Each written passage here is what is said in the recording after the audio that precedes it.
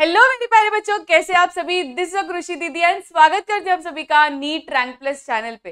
देखो नीट 2024 को ना बस रहे अब 10 से 12 दिन। और अब हमारी आँखें एकदम खुल जानी चाहिए, एकदम जुनून के साथ हमें मेहनत कर लेनी है बिकॉज़ अभी नहीं तो कभी नहीं राइट हर टाइम की तरह मैं यही आपको बोलना चाहती हूँ कि अभी नहीं तो कभी नहीं, जो हमने डे वन में सोचा था कि मुझे ये स्कोर चाहिए तो वो स्कोर तो यार लाना बनता है है ना? उतनी मेहनत करनी बनती है। अब आज के सेशन में ना आपका नीट 2024 का पेपर में प्रिडिक्ट करने वाली हूँ। अगले 10 मिनट में आपको नीट के क्वेश्चंस किस तरीके से आने वाले हैं, कौन से टॉपिक से आने वाले हैं, वो सारी चीज़ें, सारी डिटेल्स मैं आपको बताने वाली हूँ। तो वीडियो को जल्दी से 1.5 पे लगा दीजिए एंड वीडियो को एंड तक देखना है एंड तक बने रहना है बिकॉज़ बहुत ही इंपॉर्टेंट टॉपिक बहुत ही इंपॉर्टेंट बात मैं आपको करने वाली हूँ, ठीक है? देखो, जल्दी जल्दी मैं आपको ना सारे टॉपिक्स बता देने वाली हूँ because I don't want to waste any minute of yours कोई भी आपका कीमती समय मैं खाना नहीं चाहती तो जल्दी से अपनी एनसीईआरटी खोलकर बैठिए और ये सारे टॉपिक्स को मार्क करते जाइए। सबसे पहले तो ये लिविंग वर्ल्ड वाले चैप्टर में आ जाइए। देखो, ये सारे जो टॉपिक्स है ना, ये मोस्ट रिपीटेड टॉपिक्स है। आप लोग को ये समझना है कि what is the science behind practising PY Qs अभी पीवाई क्यूज हम लोग इसलिए प्रैक्टिस करते हैं क्योंकि पीवाई क्यूज प्रैक्टिस करने वक्त हम लोग को पता चलता है कि अच्छा ये पर्टिकुलर चैप्टर का ये पर्टिकुलर टॉपिक इंपॉर्टेंट है। वो टॉपिक को इंपॉर्टेंस तब दी जाती है when it is most repeated मतलब फॉर एग्ज़ाम्पल 2015 में भी वही टॉपिक से आया, फिर 2017 में भी, फिर 2019 में भी। तो जितना वो मोस्ट रिपीटेड होगा, उतना वो इम्पोर्टेंट टॉपिक होगा।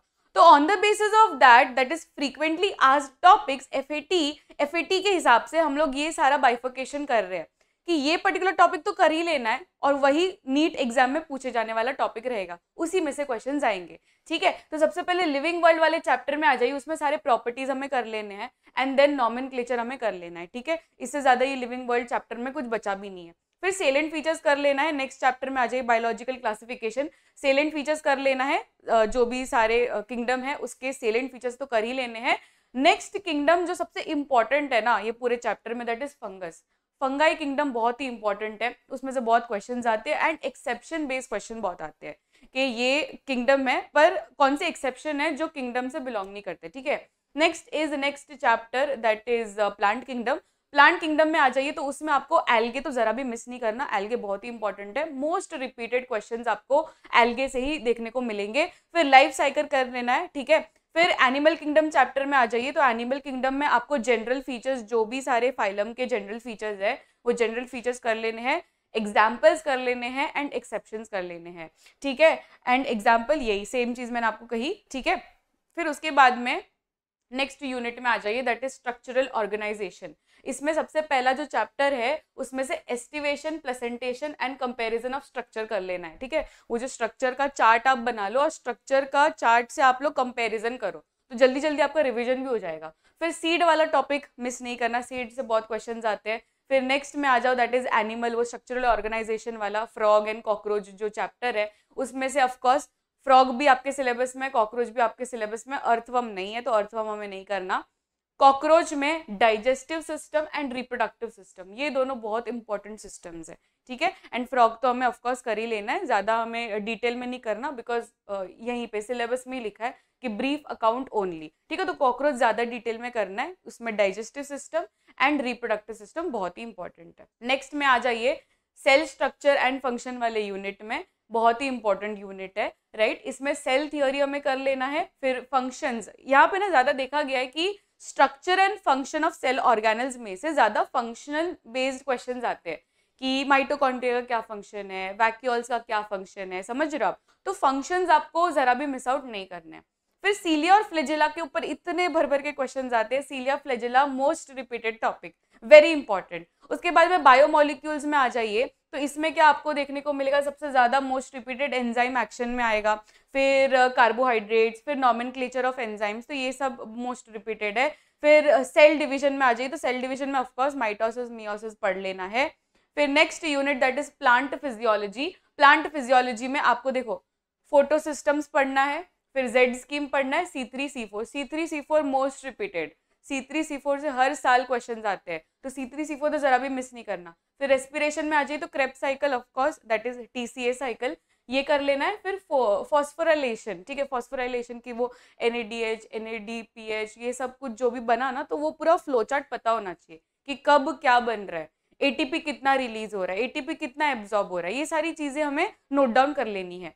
फिर नेक्स्ट चैप्टर में आ जाइए तो इसमें phases of plant growth and plant growth rate मतलब प्लांट ग्रोथ टॉपिक जो है वो बहुत ही इंपॉर्टेंट टॉपिक है and PGR that is plant growth regulators इसमें ये सारे हॉर्मोन्स के बारे में स्टडी करना है इसका इफ़ेक्ट क्या रहता है uh, कौन सा प्रमोटर है कौन सा इनहिबिटर है तो ये बेसिक नॉलेज हमें पता होनी चाहिए। फिर most important unit that is human physiology human physiology बच्चों मोस्ट रिपीटेड है मतलब वो बोले ना एकदम चंक मेजर चंक जो होता है दैट इज़ ह्यूमन फिजियोलॉजी तो ह्यूमन फिजियोलॉजी में सबसे पहला chapter that is breathing and exchange of gases तो इसमें से हमें मैकेनिज्म कर लेना है। मैकेनिज्म एज इन कैसा एक्सचेंज ऑफ़ गैसेस होता है एल्वियोलाई और ब्लड वेसल के बीच में क्या चलता है, फिर ब्लड वेसल और टिश्यूज के बीच में कैसा एक्सचेंज होता है, वो सारी चीज़ें हमें कर लेनी है। फिर ऑक्सीजन डिसोसिएशन कर्व जो है, उसके बारे में बेसिक नॉलेज पता होना चाहिए।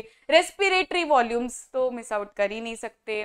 वो वॉल्यूम्स पता होना चाहिए कि टाइडल वॉल्यूम कितना होता है, फिर आईआरवी कितना होता है ईआरवी e कितना होता है तो वो जो वॉल्यूम का नंबर है ना, वो वॉल्यूम का नंबर पता होना चाहिए।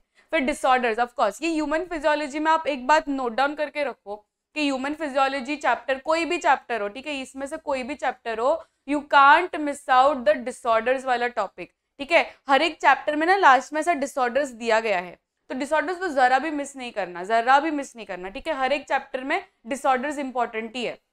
मुझे बोलने की भी ज़रूरत नहीं पड़नी चाहिए। फिर बॉडी फ्लूइड्स एंड सर्कुलेशन भी बॉडी फ्लूइड्स एंड सर्कुलेशन में blood groups of course blood groups में फिर आर एच फैक्टर जो है दैट इज़ एरिथ्रोब्लास्टोसिस फिटालिस वाला जो टॉपिक है, ये भी मोस्ट रिपीटेड है। ठीक है तो ब्लड ग्रुप्स कर लेना है आर एच फैक्टर कर लेना है। फिर ब्लड क्लॉटिंग भी हमें कर लेना है। ब्लड क्लॉटिंग का जो पैराग्राफ है, उसमें जो भी रिएक्शन है कैस्केड ऑफ़ रिएक्शन जो है वो सारी चीज़ें कर लेनी है।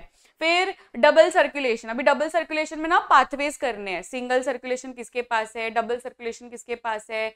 uh, किसका कितना चेम्बर का हार्ट है? इसके ऊपर क्वेश्चन आता है ठीक है? तो वो मैंने आपको समझाया भी है परम सुंदरी वाला जो टॉपिक है। वो बहुत ही मोस्ट रिपीटेड है।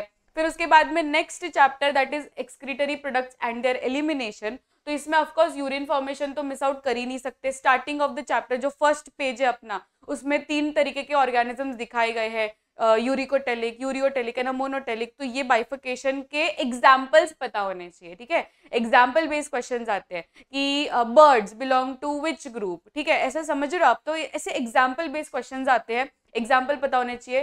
फिर रेगुलेशन ऑफ़ किडनी फ़ंक्शन इसमें रास वाला टॉपिक आ गया एंड डिसऑर्डर्स ऑफ़ कोर्स मैंने आपको बोला कि डिसऑर्डर्स तो इंपॉर्टेंट है ही। फिर लोकोमोशन एंड मूवमेंट अभी लोकोमोशन एंड मूवमेंट में से ऑफकोर्स स्लाइडिंग थियोरी जो है मसल कॉन्ट्रैक्शन मसल कैसे कॉन्ट्रैक्ट करता है, उसका थियोरी पता होना चाहिए। फिर सार्कोमियर का जो स्ट्रक्चर है, वो स्ट्रक्चर के बारे में पता होना चाहिए। And last that is disorders and joints joints topic most important मतलब आप देख रहे हो एनसीआरटी में जॉइंट्स का टॉपिक खाली इतना सा है राइट इतना सा खाली आधा पेज है जॉइंट्स का टॉपिक पर इतने मोस्ट रिपीटेड पीवाईक्यूज है।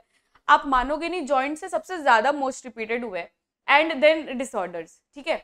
Next is neural control and coordination neural control and coordination में से कंडक्शन तो कर ही लेना है, ठीक है? कंडक्शन उसमें एक्शन पोटेंशियल आ गया रेस्टिंग पोटेंशियल आ गया। फिर वो एक डायग्राम दिया गया है राइट वो डायग्राम में जो केमिकल साइनैप्स का जो डायग्राम है ना, वो बहुत इंपॉर्टेंट है वेरी वेरी इंपॉर्टेंट ये पूरे चैप्टर में आपको वो डायग्राम बेस्ड क्वेश्चन इतने आपको आ जाएँगे, हर एक लेबलिंग पता होनी चाहिए वो डायग्राम की, ठीक है? नेक्स्ट इज़ केमिकल कोऑर्डिनेशन तो केमिकल कोऑर्डिनेशन जो लास्ट चैप्टर है अपना ह्यूमन फिजियोलॉजी का तो उसमें जो ग्लैंड है, सारी ग्लैंड इंपॉर्टेंट है, पर उसमें से thyroid gland pancreas and adrenal gland भाई एड्रीनल ग्लैंड का ना मेड्यूला जो रीजन है, उसके हॉर्मोन्स इतने पूछे गए एग्ज़ाम में। मेड्यूला और कॉर्टेक्स दो है। तो मेड्यूला के हॉर्मोन्स का भी फ़ंक्शन पता होना चाहिए एंड कॉर्टेक्स रीजन का जो है, उसका भी पता होना चाहिए। तो adrenal is the most important उसके बाद में थायराइड एंड उसके बाद में पैनक्रियाज फिर मैकेनिज्म ऑफ़ हार्मोन एक्शन तो ये मैकेनिज्म भी पता होना चाहिए। उसमें फिर लास्ट का जो टॉपिक है, दो तरीके के रिसेप्टर्स होते हैं, एक मेम्ब्रेन बाउंड और दूसरा इंट्रासेलुलर रिसेप्टर तो उसका एग्ज़ाम्पल पता होना चाहिए कि कौन सा हॉर्मोन कौन से में आएगा, ठीक है? फिर डिसऑर्डर्स ऑफकोर्स डिसऑर्डर्स के बिना तो हो ही नहीं सकता। सो दैट वॉज़ इट ठीक है? मुझे पता है कि अभी तो आधा ही हुआ है मैम आधा आधा नेक्स्ट क्या करेंगे हम लोग?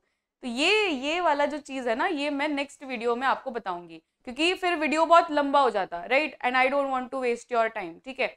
तो अभी के वीडियो में हमने क्लास इलेवेंथ के टॉपिक्स डिस्कस कर लिए। सो so, मुझे पता है कि आप लोग बोलोगे कि मैम ये सारे टॉपिक्स तो आपने बता दिए पर पढ़े कैसे?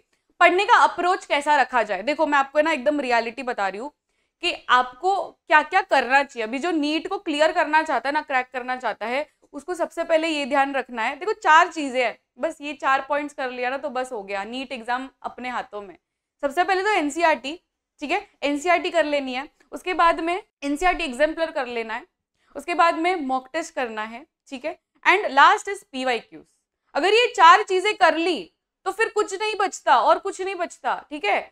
एनसीआरटी कर लेना है, पूरा एनसीआरटी रीडिंग करना है। अभी एनसीआरटी रीडिंग कैसे करोगे? अगर आपको नीड है, अगर आपको ऐसे लग रहा है कि अभी मेरा कैसे होगा एनसीआरटी रीडिंग कैसे होगी तो आप ये प्लेलिस्ट सेक्शन में आ जाइए। देखो, ये हमारा ही चैनल है that is NEET rank plus channel इसमें आ जाइए, ये आपको ये प्लेलिस्ट दिख रही है नीट जुआलॉजी वाली प्लेलिस्ट दिख रही है। इसमें आप देखो एक एक चैप्टर पूरी बारीकी से कवर किया है एक एक लाइन की है। मतलब ये मैं ऐसे गर्व के साथ बोल सकती हूँ because I have done each and every line of N C R T and my students have done each and every line of N C R T and I am very very proud of them ठीक है? वो मतलब बच्चे रहते हैं literally तीन चार घंटे का सेशन एवरी डे रहता है हमारा। और वो स्टार्टिंग से एंड तक बने रहते हैं, हर एक लाइन करते हैं और उसके बाद में जो उनके अंदर कॉन्फिडेंस आता है ना दैट इज़ नेक्स्ट लेवल ठीक है? तो अगर आपको भी ये कॉन्फिडेंस चाहिए तो आप ये प्लेलिस्ट ज़रूर चेक करना फ्री ऑफ़ कॉस्ट है राइट आप 1.5x पे 2x पे लगा कर अभी भी टाइम है हमारे पास 10 दिन है और तो अभी भी गेम चेंजर रह सकता है अगर आपको इंटरेस्ट अभी भी अगर आपको ऐसा लग रहा हो कि यार एनसीआरटी नहीं हो रही, ये प्लेलिस्ट में आ जाइए, पूरा एनसीआरटी डन एंड डस्टेड हो जाएगा। उसके बाद में जो मैंने आपको बताया कि ये इंपॉर्टेंट है, वो इंपॉर्टेंट है, ये टॉपिक अगर आपको खाली टॉपिक चाहिए तो ये टॉपिक के लिए भी मेरे पास सोल्यूशन है। ये टॉपिक के लिए आप ये वाली प्लेलिस्ट में आ जाइए। आपको दिख रहा है यहाँ पे जुअलॉजी हाई वेटेज चैप्टर्स ठीक है? हाई वेटेज टॉपिक्स है, ठीक है? तो यहाँ पे जो भी टॉपिक्स है, जैसे कि ब्लड ग्रुप्स हो गया, फिर आर एच फैक्टर हो गया, फिर जो भी इंपॉर्टेंट इंपॉर्टेंट है जॉइंट्स हो गया, जो मैंने आपको बोला तो ये सारा एकदम डिटेलिंग में करवा रखा है मैंने ये प्लेलिस्ट में। उसके बाद में आपका अगर ये इश्यू है कि पी वाई क्यूज कैसे करें मैम मॉक टेस्ट कैसे करें मैम तो ये है सोल्यूशन आपका। यहाँ पर आ जाइए प्लेलिस्ट में आ जाइए। जुआलॉजी नीट प्रतिज्ञा, अभी नीट प्रतिज्ञा सीरीज़ चल रही थी, हमारी यूट्यूब में ही चल रही थी। उसमें इतने सारे पीवाई क्यूज करवाए हैं। आप मानोगे नहीं थर्टी फाइव ईयर्स पुराने PY Qs literally thirty five years पुराने पीवाई क्यूज के चैप्टर वाइज करवाए ऐसा नहीं कि एक साथ कंबाइन कर दिया खाली। अभी for example neural control and coordination का चैप्टर चल रहा है तो खाली उसी के पीवाई क्यू फिर दूसरा ह्यूमन रिप्रोडक्शन तो खाली उसी के पीवाई क्यूज तो अगर आपको पीवाई क्यूज की प्रैक्टिस करनी है this is the best playlist पूरे यूट्यूब पे जाओ, इससे बेस्ट प्लेलिस्ट आपको मिलेगी नहीं।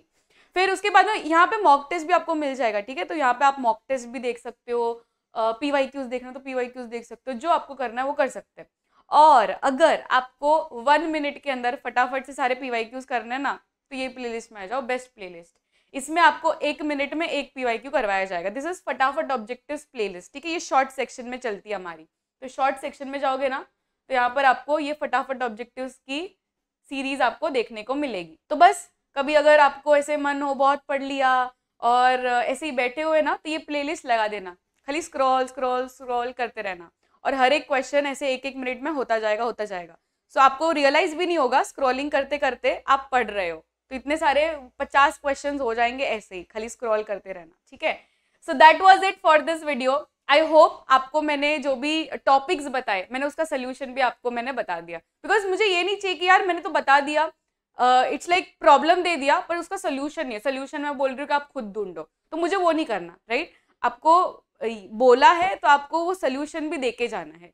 So that was it for this video आज के सेशन में आज हमने क्लास इलेवेंथ के most important topics that is frequently आज टॉपिक्स कर लिए। नेक्स्ट सेशन में मैं आपको मिलूँगी विथ फ्रीक्वेंटली आज टॉपिक्स ऑफ़ क्लास ट्वेल्थ ठीक है? तो वो भी कर लेना है। आपको यहाँ पे प्लेलिस्ट में दोनों तरीके के मिल जाएँगे। क्लास इलेवन के टॉपिक्स भी मिल जाएँगे एंड क्लास ट्वेल्व के टॉपिक्स भी मिल जाएँगे। So you can check that out ठीक है? So that was it for this video मिलेंगे नेक्स्ट वीडियो में। This is a Krishi Didi signing off till then take care bye every